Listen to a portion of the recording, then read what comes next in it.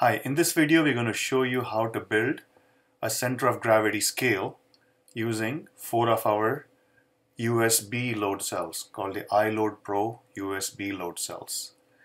In order to create the scale, we start off by taking a 2 foot by 2 foot aluminum plate about a quarter inch thick and in order to locate the objects we want to measure the CG of, we have uh, created a grid on the surface placed one inches apart in both the X and Y directions.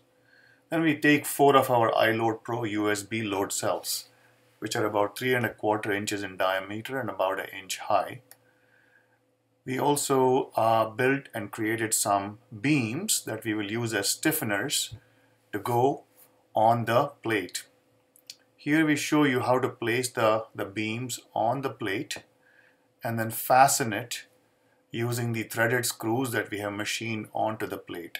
We flipped the plate on the back side and I started placing the beams on the plate.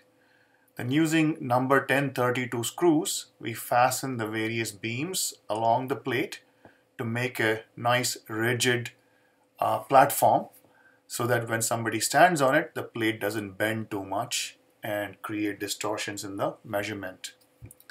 Now once the, the structure is created, we take our iLoad Pro load cells and mount them at the four corners.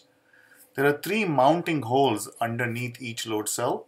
So we come from the top of the plate and then use number 10-32 half inch screws to mount the four load cells at the four corners.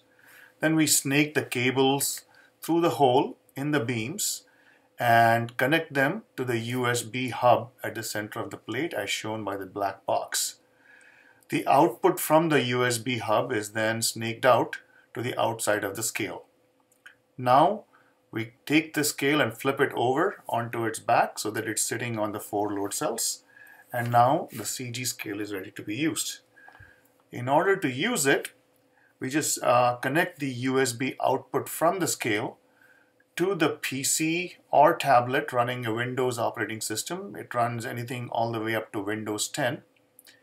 Then we place some weights on the scale just to uh, test it out. We place 200 pounds and as you can see, you can see the four individual weights as well as the total weight on the scale. Um, now once you, you know, check this out, then you can see uh, our LoadView-4000 CG software uh, it has an XY plot where it shows the location of the CG. And on the bottom left hand corner, it gives you the exact uh, coordinates of the CG. Now I'm standing on the scale and I'm moving back to the left, to the right, and backwards.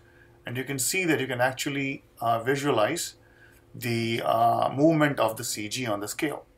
So that's how you build and use the scale. So if you have any questions or would like to order one, CG scale from us, please contact us at sales at loadstarsensors.com. You can uh, call us at 510-274-1872. We would love to hear from you. Thank you.